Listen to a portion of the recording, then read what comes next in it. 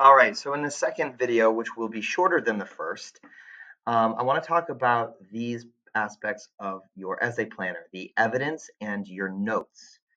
So for each of your reasons, you're going to be writing a small to medium sized paragraph or maybe multiple paragraphs that talk about this reason. And so what we need is information that supports my reason or your reason. We need evidence. Now, evidence can be lots of different things. There's not one part of evidence that we can focus on today.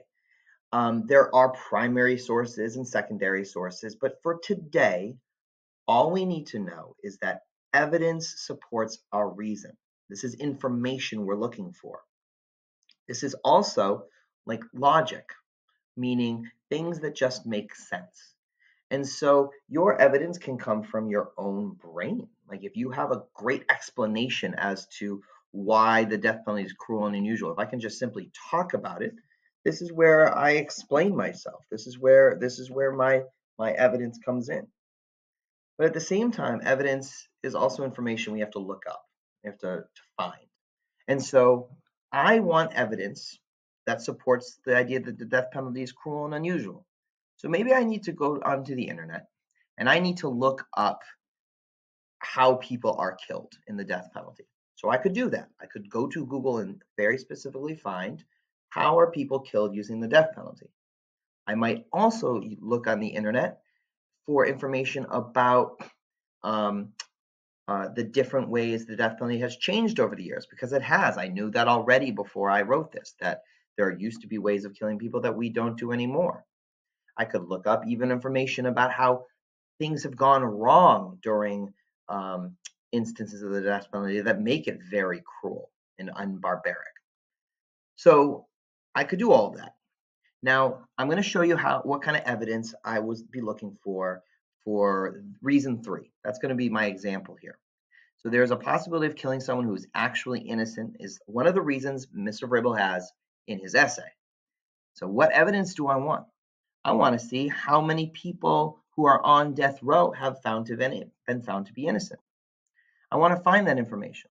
So the first thing I did, I actually Googled, I used the internet, and I Googled death penalty information, and I found out um, this website. I was lucky. I have a nice death penalty information center. It looks like a um, a solid website. You know, if you're using sports uh, as your topic, you might want to look at things like ESPN, um, there's lots of newspaper articles. These are also different ways, uh, different sources of evidence. And we're going to talk more about sources when I return. But for now, we're just looking for some information. And I was fortunate enough, I like a fact sheet. There's all sorts of, I'm looking for facts. Um, and so I clicked it and look it. There's so, there's a lot of information right here. And so um, right here is where I'm looking for innocence. Um, since 1973, more than 185 people have been released from death row with evidence of their innocence. An average of 3.94 wrongly convicted death row prisoners have been exonerated each year since 1973. So that means there have been almost four people um, uh, who have been wrongly convicted each year that are on the death on death row. That means four people could have been killed who were innocent.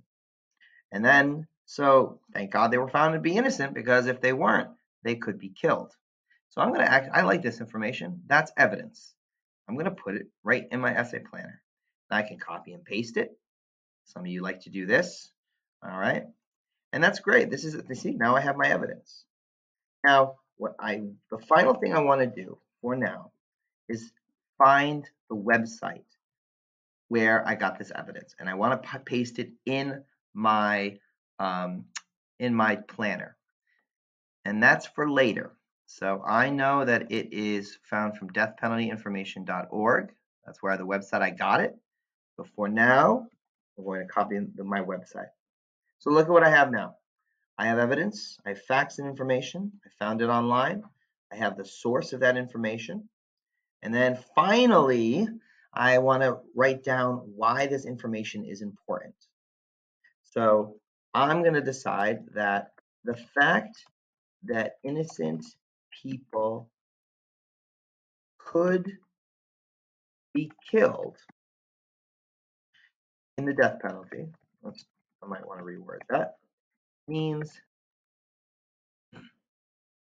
that, um, you know what, could be killed using the death penalty, from the death penalty. Death penalty is reason enough to get rid of it. I want to add some more things now that I'm I'm putting my ideas down on paper. Um, it is clearly possible that innocent people have been killed with the death penalty. Death penalty. That is simply not okay.